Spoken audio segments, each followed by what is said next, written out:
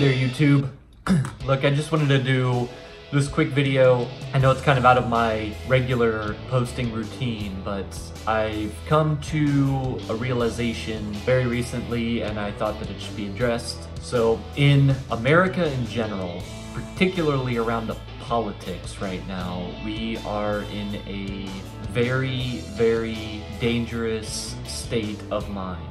We in America are painting everybody right now with a different viewpoint than what we hold as an other. We're saying this person is on the other side of the fence, no matter which side you happen to be on or they happen to be on on this one issue and the news sources we listen to are set up to show us an argument from a viewpoint that paints them in a direction so opposed to what we think that it sets up a straw man of their argument, meaning that it, it's not clearly explaining their position.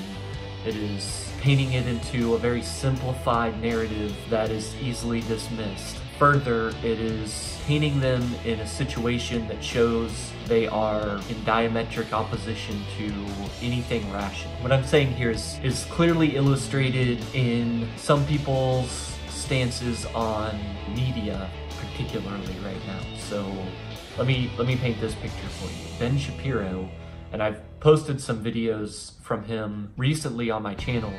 And you know, I don't think Ben Shapiro is a bad guy. I think that he has some some ideas that I definitely disagree with, but he's coming to them rationally. And I feel like Ben Shapiro and I could have a very fruitful conversation.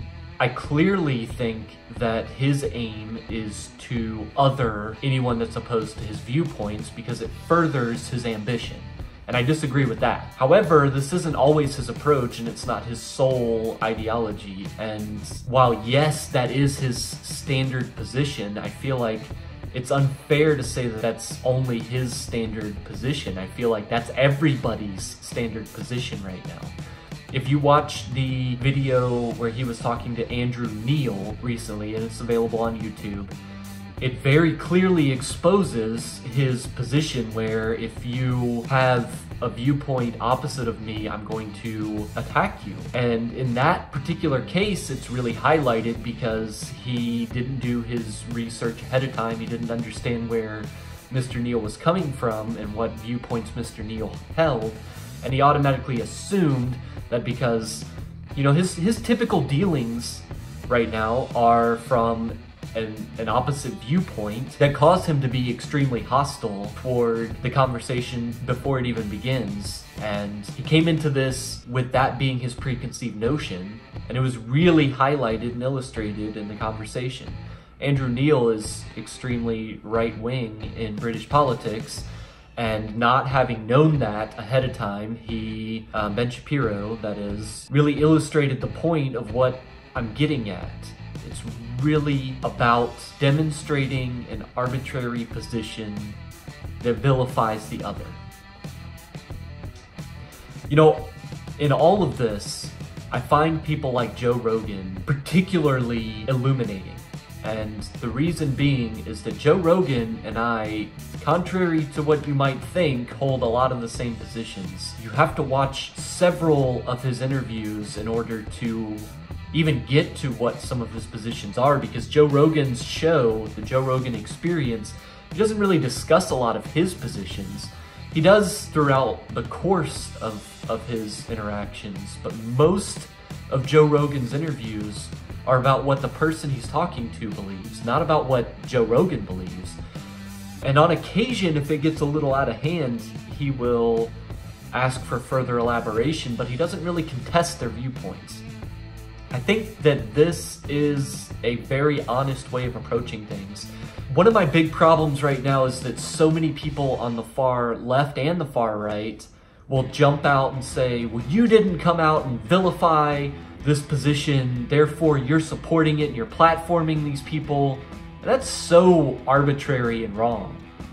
If you have a good idea, if you have a very valid reason for supporting a viewpoint, then let it stand on its own.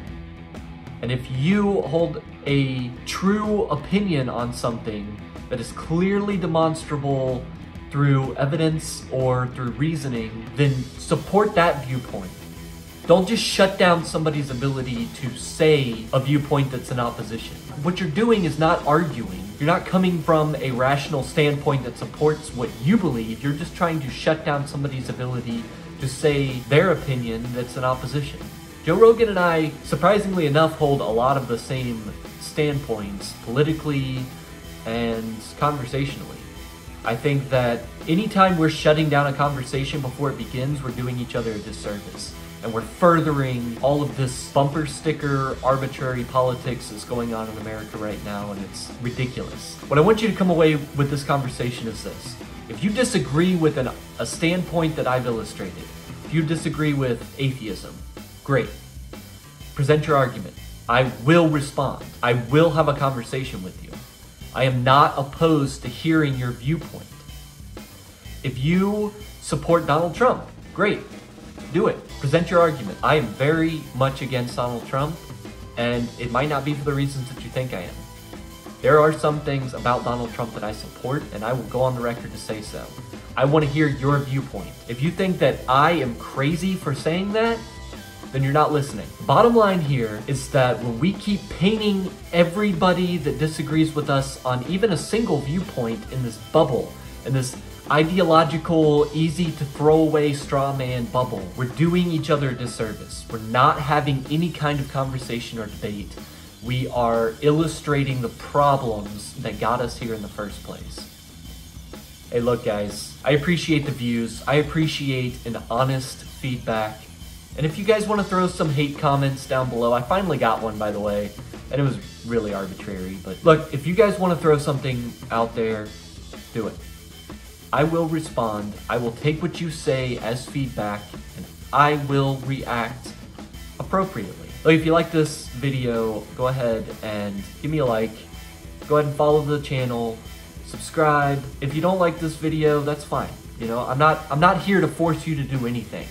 All I want to do is have a conversation with you, the American people, with you, the viewer on the internet, with you, the international community, whoever you happen to be. Wherever you're at, I will come and meet you there.